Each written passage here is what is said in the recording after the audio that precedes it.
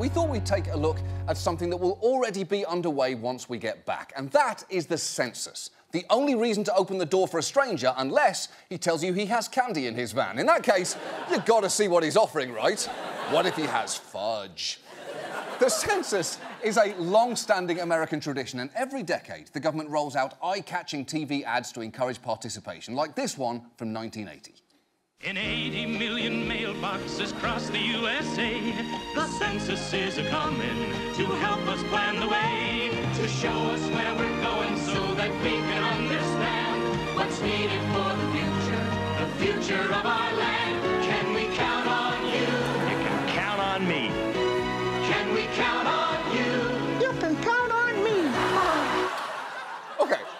First, I'll say this that is a beautiful song. I mean, it's no Eat Shit Bob, but frankly, what is?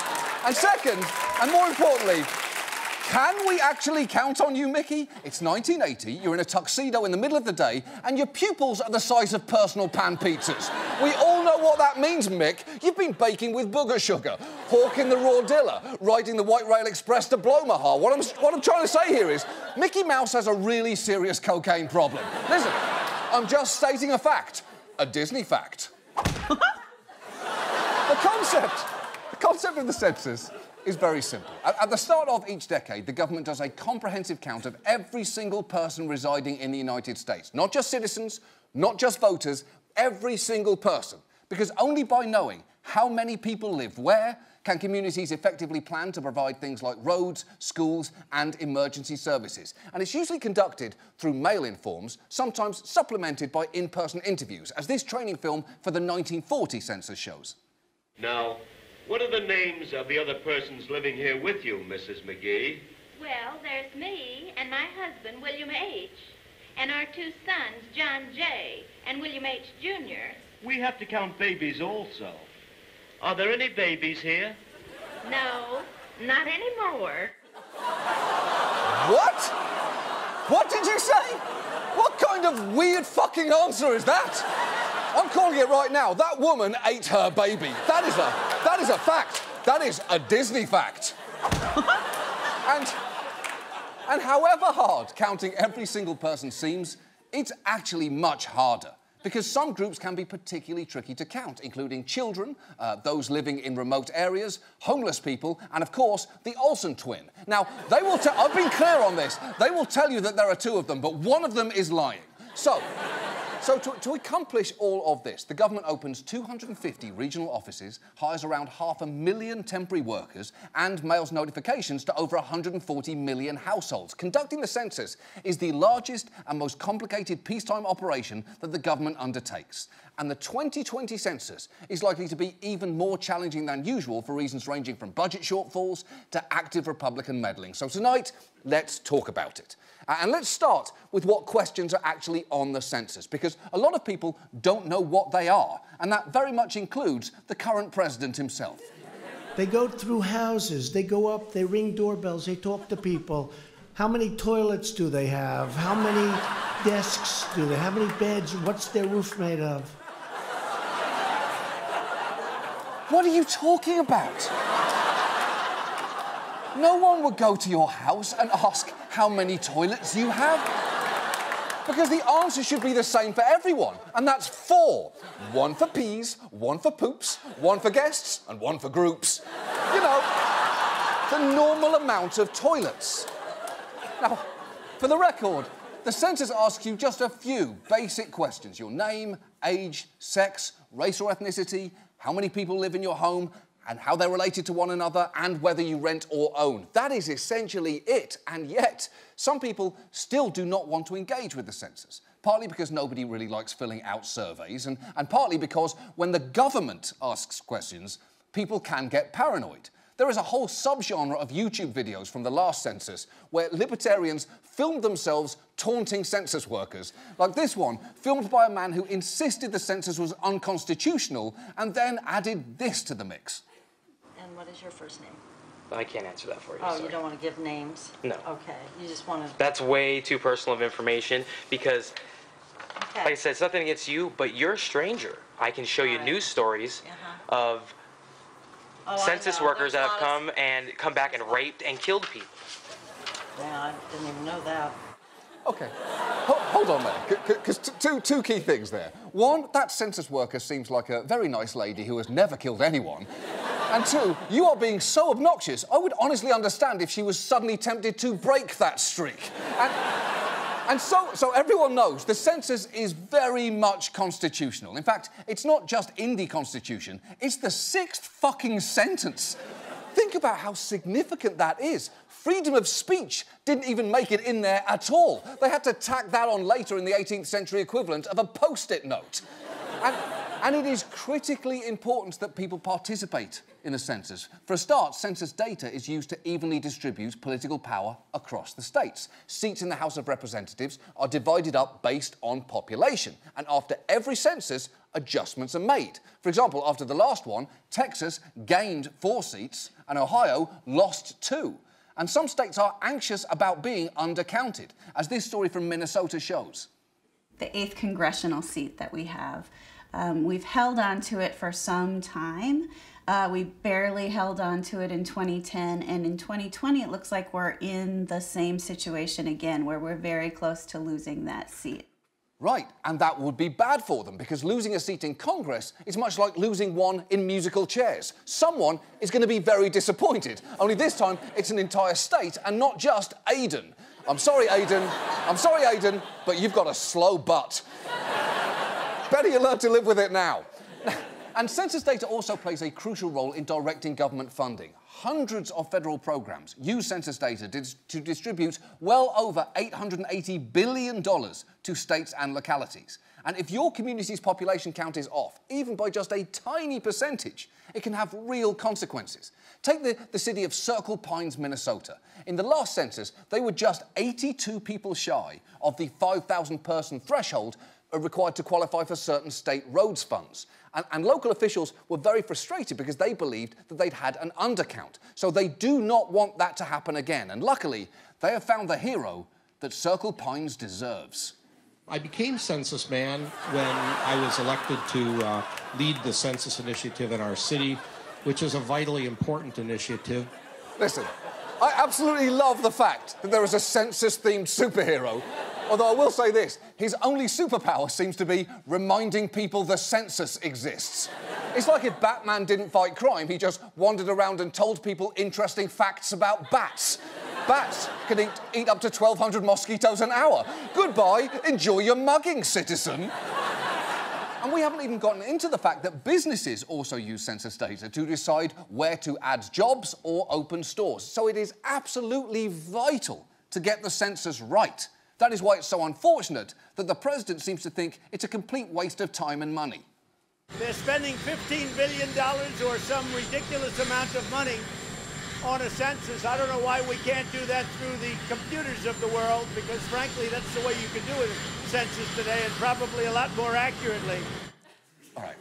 So obviously there is a lot to unpack there, but, but let, me, let me just quickly pick up on computers of the world. I refuse to take computer advice from Donald Trump. Have you ever seen him use one? Can you even picture that happening in your mind right now? Donald Trump clicking a mouse, typing with his fingers? No way! Here is a photo that he posted during a Reddit AMA, and he looks like he's scared that if he touches the laptop, it will burn him. Now, as for that whole cost issue, Congress has actually underfunded the Bureau by hundreds of millions of dollars for years, during which time critical preparations for this census needed to be made. And that is not good, because next year, for the first time ever, the Bureau will be asking most people to answer the census online, which could make counting everyone easier, provided the government's website works properly. You do not want another healthcare.gov on your hands a website whose launch was so flawed that you may well recall only six people were able to use it to sign up for health insurance on its first day. Fun fact those six people, the cast of Friends. I mean, could they be any luckier? Now, to avoid problems, typically the Bureau does multiple full scale test runs in different locations to make sure that everything is not only working, but that it will work in a variety of difficult to count areas. It had planned to do three test runs this time in an urban setting, uh, a rural setting, and on tribal lands. But thanks to budget constraints, it ended up only doing one in Providence County, Rhode Island, where they didn't even have a marketing budget. One library actually tried to help there by offering people coupons for $5 off late fees if they filled in a census on a tablet computer there. But the results were underwhelming. How long has this been up about in the library? Ah, A couple of weeks, I guess. and how many people have come through to, to use it? Unfortunately, well, here's the thing: a lot of people have looked at it. you know, so far we've had one that I can, yeah, that I can vouch for. One person's come in and done it, and you know, and the coupon was an incentive on that. And here's the thing I actually have a confession here. I am that man. I had $233,000 in late fees in Providence, Rhode Island, and now I have just $232,995. And guess what? I'm still not returning the copy of Eat, Pray, Love that I borrowed in 2004. I just committed the perfect crime. Admitting it on camera probably isn't ideal, but no fucking regrets.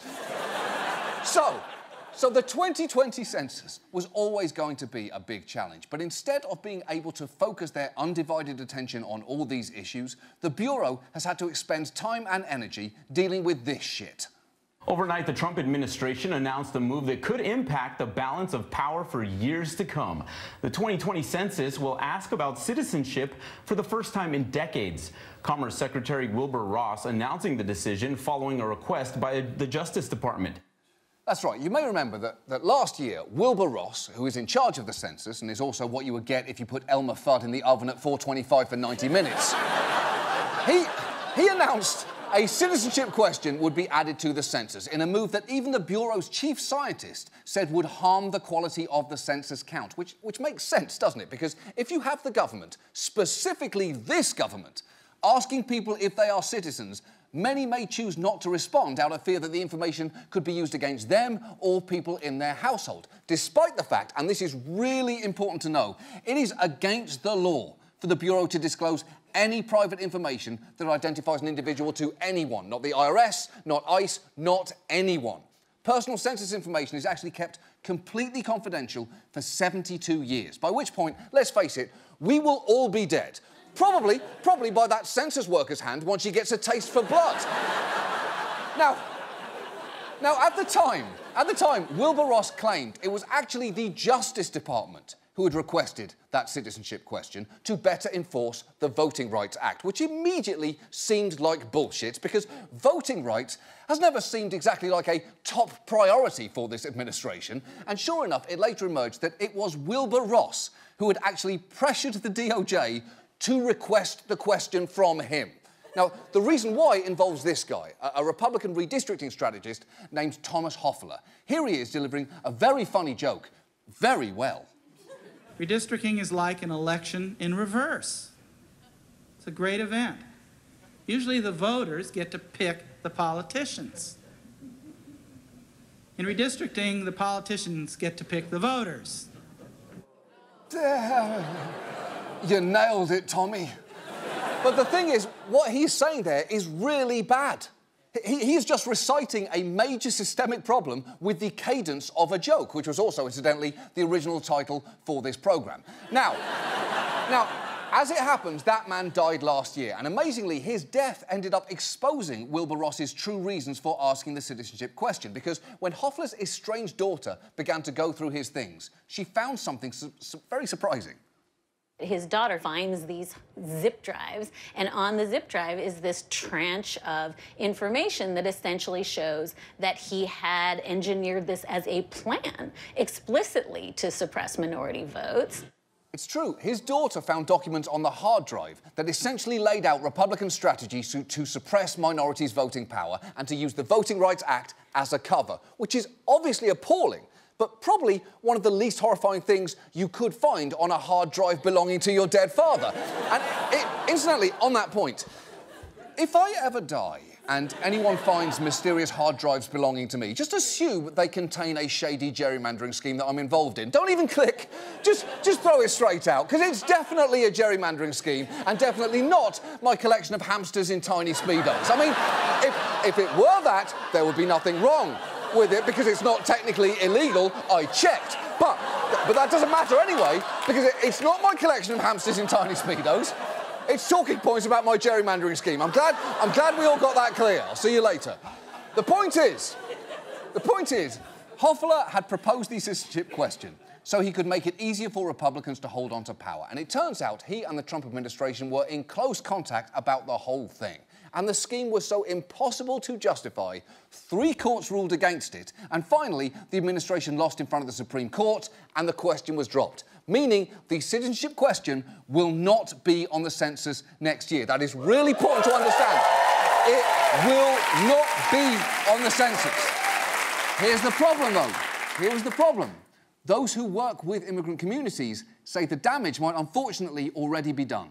The anxiety and fear among Chicago's Latino families remains despite President Trump's decision to back off on the citizenship question on the 2020 census. The uh, reluctancy is there because the environment has been already created to deter them. Exactly. They've now created an environment of fear. People will still be looking over their shoulder, terrified as Incidentally, that woman should probably be because Susan Skellington is right behind her, waiting to pounce. Look out! It's Susan!